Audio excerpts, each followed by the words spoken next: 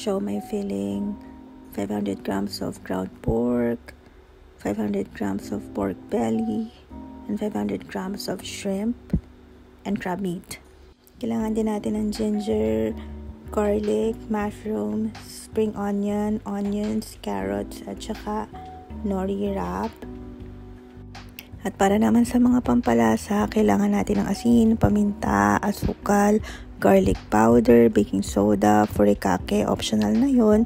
Kung gusto niyo pa ng additional na lasa, toyo, pati, sesame oil, vinegar, and water, nasa description box yung exact na measurements. Balik na tayo sa filling. Kung meron kayong food processor, mas mabilis, i-grind nyo na lang doon. Or kung wala naman, pwede namang i-dice nyo na lang na maliliit. Then, kuha na lang tayo ng bowl. I-mix na natin lahat ng mga ingredients. And then, make sure lang na mahalo nating mabuti. Uy, may special guest ako. Nahingi ng treat. So, balik lang tayo sa mga pampalasa. Ako, mas okay sa akin yung i-mix ko na lahat. Yung dry at saka yung wet na pampalasa para mismo mag-blend na sila together. Then, tsaka ko siya imimix dun sa pinaka-filling para walang buo-buo para maayos na maayos yung or pantay na pantay yung lasa niya.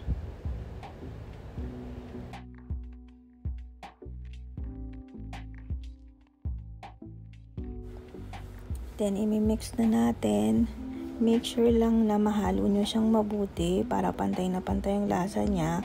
Pwede kayong gumamit ng kamay. Make sure lang na malinis yung kamay ninyo. Pero ako okay na sa akin yung kutsara since bago ko naman minix yung mga pampalasa is yung wet and dry na mix ko naman na. So, hindi na siya magbubuo-buo. Dito naman tayo sa nori wrap. Uh, depende na sa inyo kung gaano kalaking sioma yung gusto nyo. So, kayo na lang bahalang mag-adjust or magtansya.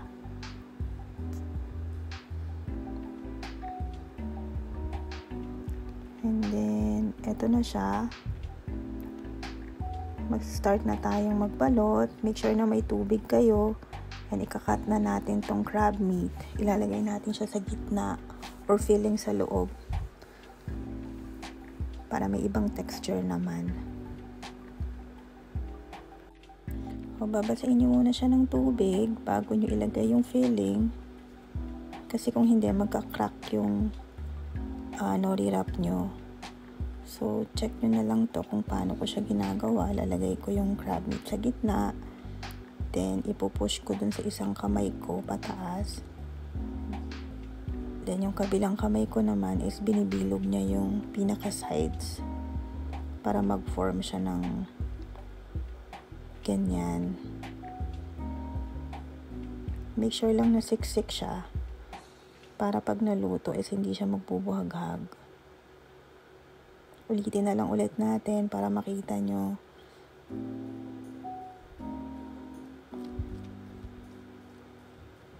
Lagay tayo ng filling.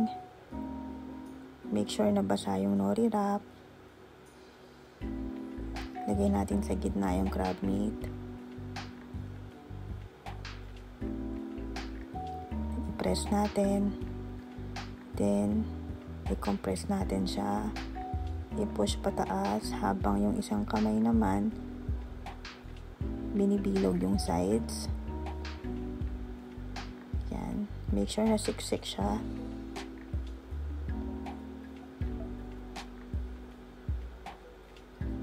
Yun lang, paulit-ulit lang hanggang maubos natin yung filling.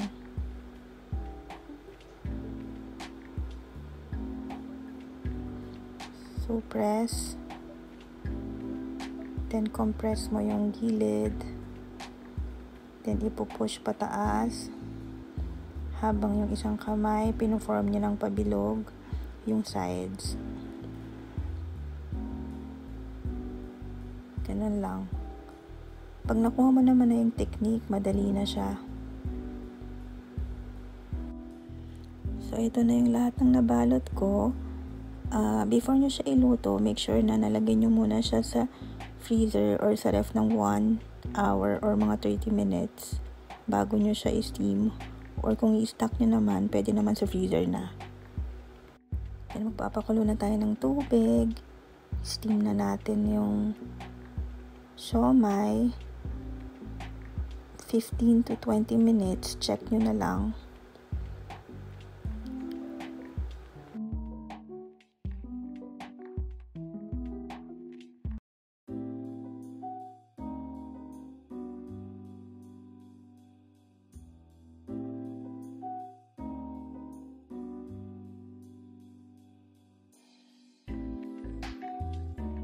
Masarap nga pala siyang i-partner sa pansit or palabok.